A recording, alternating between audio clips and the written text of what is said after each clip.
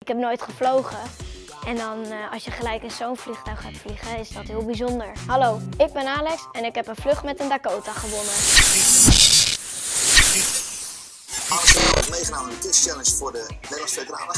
Heeft een super mooi vlogje gemaakt. Het ging eh, over vrijheid en over veteranen. Over oorlog in bepaalde landen.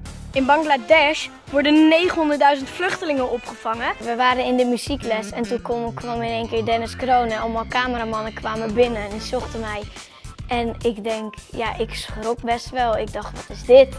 En toen eh, kregen we te horen dat eh, we die prijs hadden gewonnen. Eh, jij gaat met jouw hele klas dus vliegen in een Dakota.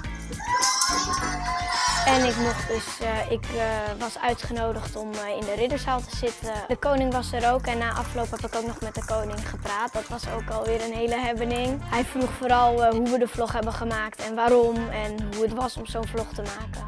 Ja, ik vond, ik vond het heel vet. Het is best interessant onderwerp. En het is ook eigenlijk, als je het zo bekijkt, dat best wel bijzonder dat er mensen zijn die gewoon hun leven hebben gegeven voor jouw vrijheid.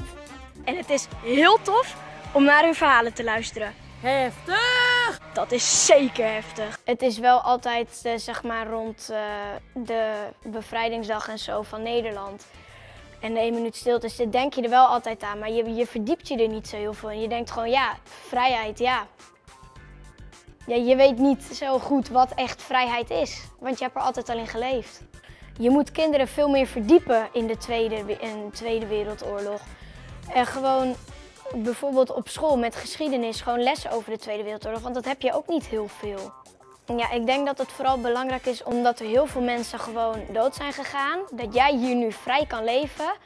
En dat als jij ze niet herdenkt, dat je eigenlijk gewoon zegt van... Dat je, je eigenlijk gewoon tegen ze zegt dat het je niet boeit wat hun hebben gedaan. Wees zuinig op je vrijheid. Sterkte in deze coronatijd. Later.